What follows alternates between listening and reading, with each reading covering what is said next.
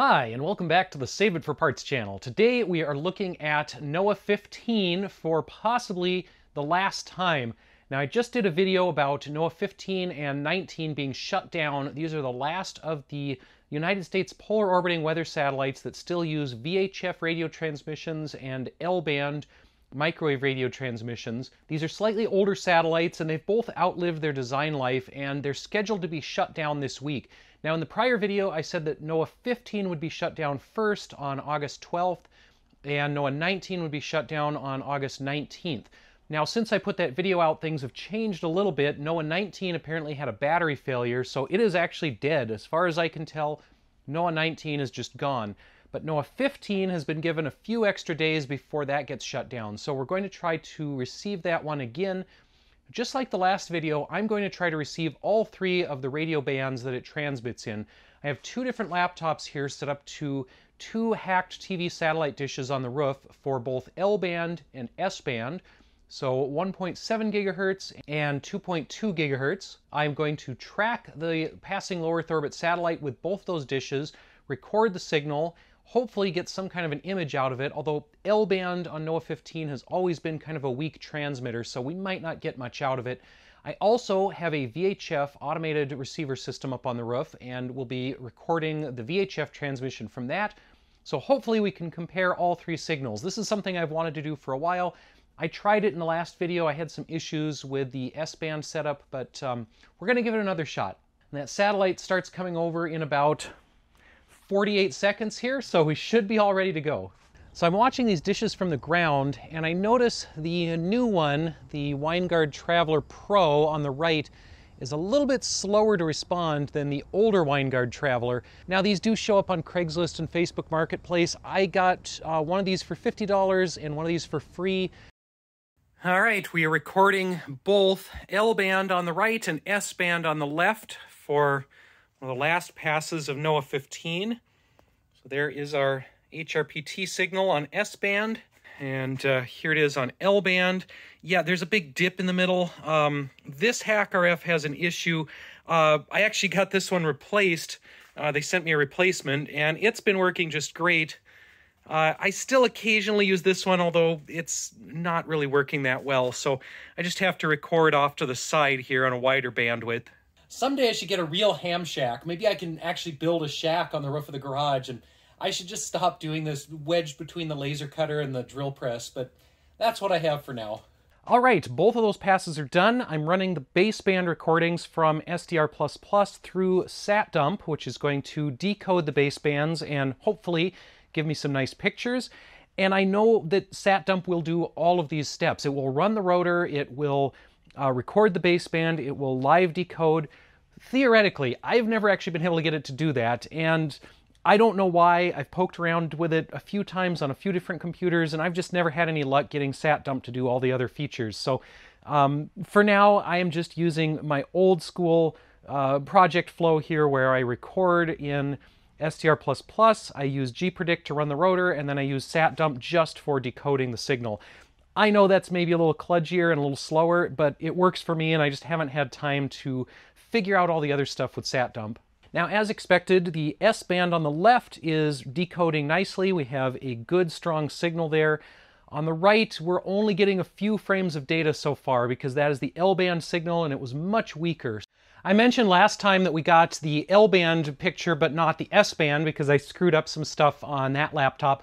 This time we got S-band and it looks beautiful, but we didn't get any picture out of L-band. I could see the transmission on L-band. We recorded the baseband signal, but it just wasn't strong enough to get anything out of it. So um, that's kind of been hit or miss with NOAA 15. That's how it goes. So unfortunately, I still do not have uh, successful downloads on all three uh, frequencies, but we've got two out of the three, so that's pretty good. The VHF APT signal is really decent. We have a good geographic coverage on that. I'm using this QFH egg beater type antenna up on the roof, and that gets a nice um, wide chunk of the satellites pass overhead. So we can see all the way from up in Canada to down into Mexico. The S-band signal doesn't usually get quite as much geographic coverage because it needs a stronger signal. It needs the satellite to be kind of directly overhead to get much out of that. If I had a little bit bigger dish for S-band, I might be able to get more geographic coverage, but again, this is pretty good. It gives me the central US, it gives me the Midwest, and it shows me basically what's right overhead and what's in my region as far as weather, which is mainly what I want to see from uh, these weather satellites. In the Midwest here, most of the weather patterns move west to east anyway, so it doesn't really matter for us what's going on down in Texas, except when Texas loses its power grid because they have a little snow and then Minnesota ends up paying their heating bills for five years. Now that was the main thing I wanted to do today, but it doesn't make for much of a video, so maybe I'll discuss the dish system that I'm using in a little more detail because a couple people asked about that in the comments on the last video. So the basic setup to control one of those RV satellite dishes like the Winegard Trav'ler or like the older dome models like the Carryout is the laptop running my custom Python code which talks to the dish brain over a serial connection. In this case, I'm using a USB serial connection for the Winegard Trav'ler Pro, which uses a slightly newer box than the older Trav'ler. So this is the interface box for the dish, the indoor unit. Uh, this thing has uh, an Ethernet port, which I haven't used yet. It has the control wires out to the dish, power supply in, and a USB port. It actually has another USB port on the front. I haven't used that one. I don't know if it does the same as the one on the back or if that one's just for flashing new firmware. On the radio end of things, I'm using a Nooelec HackRF One, and that is hooked up to a custom feed on the front of the dish. And the feed is essentially a helical spiral of wire hooked up to an antenna jack. This is an old junky one that I had lying around in my junk box. This is for a circularly polarized signal. So the signal is being transmitted with something that looks like this on the satellite, which means that the radio waves come out in kind of a spiral, and you need a spiral antenna to pick it up. And that's in contrast to what you normally get on the front of your TV satellite dish, which looks more like this or this. These are called LNBs, low noise block down converters.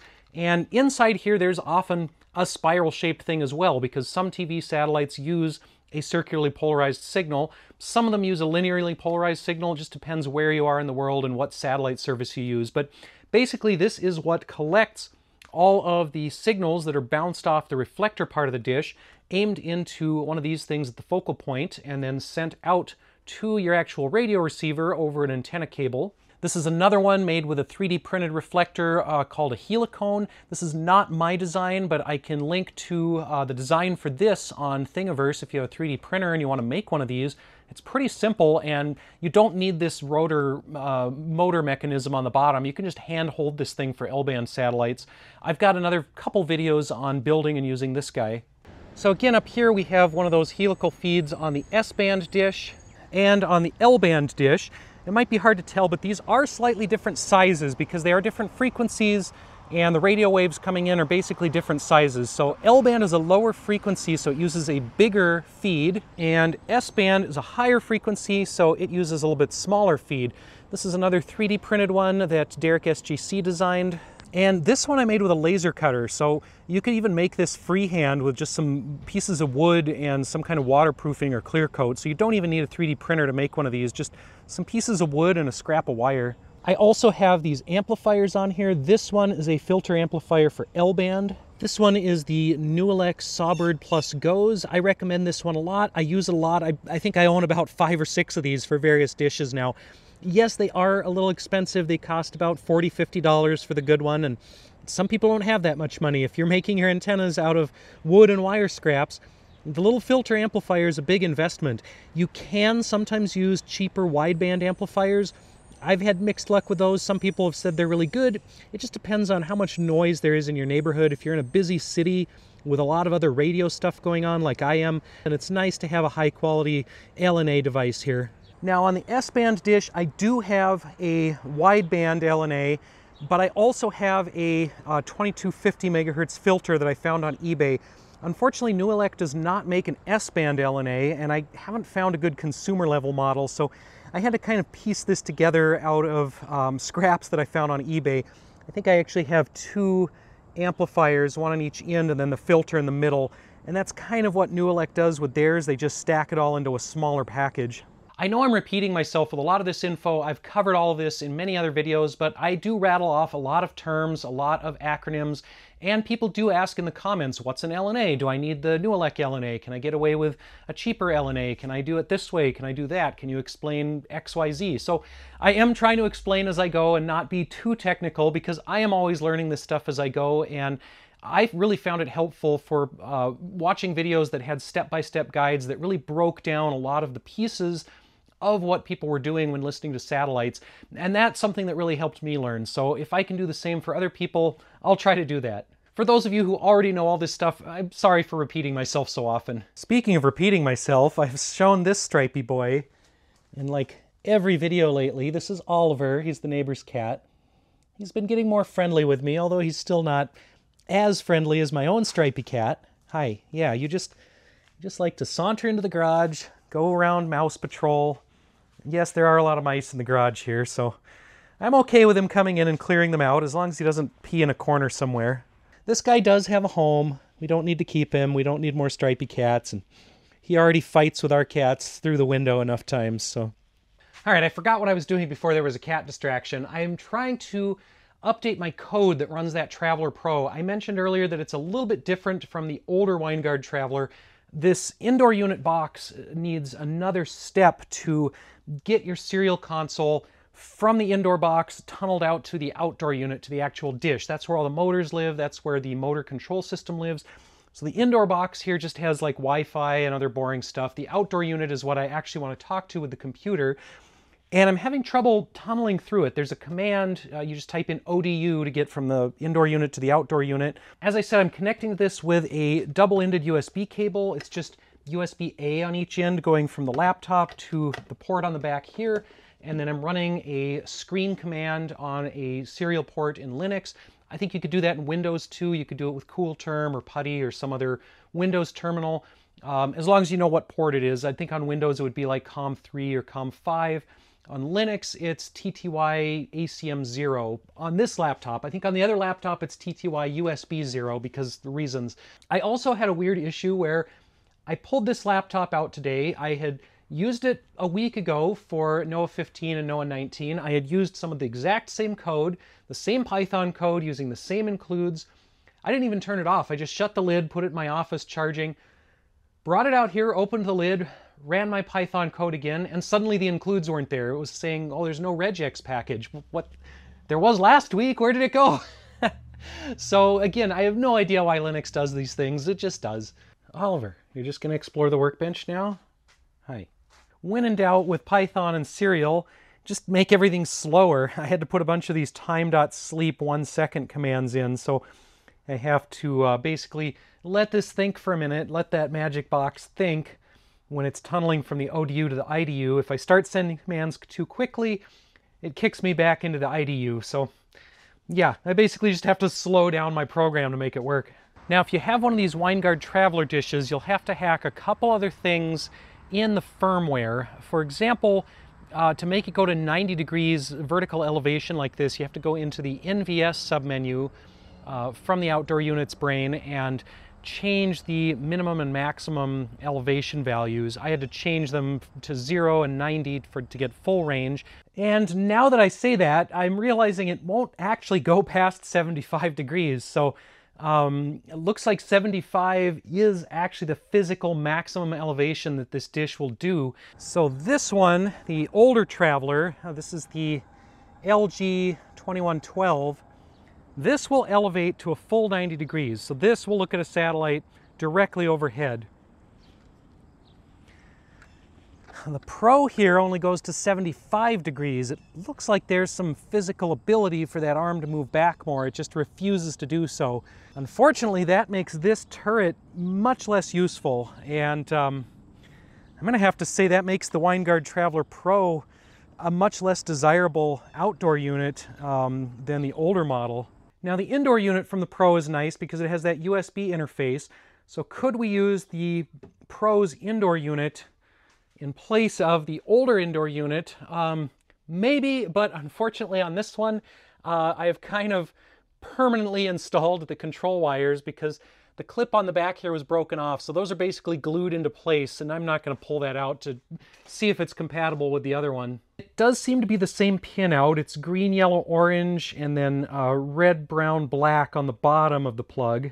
And so far the firmware on the outdoor units of both turrets has looked the same, so it's possible you can mix and match turrets and indoor units. I guess one other thing I can try is can I control it with this front USB port? Uh, not really necessary, but might be nice to know. And that looks like a no. This front USB port is not a full port, is probably just for flashing firmware from a thumb drive. So if you want to control the thing, uh, this is the only working USB port for serial interface. Yeah, the motor is stalling out when I try to send the elevation past 75. All of these Winegards have multiple ways to control the motors, so if I try sending the motor directly to 90 degrees, and then uh, look at the motor status, yeah, that elevation is still at 75, so uh, no matter which command I use, it will not go past 75.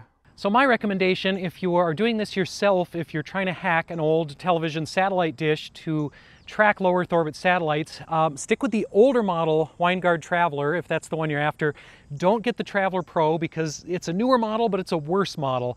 And unfortunately, that's kind of a trend with American products and American electronics, is companies will come up with a product that works great, that people love, and they'll make a newer version that's worse. So unfortunately the newer version is worse, at least for my purposes. It's slower, it's more limited.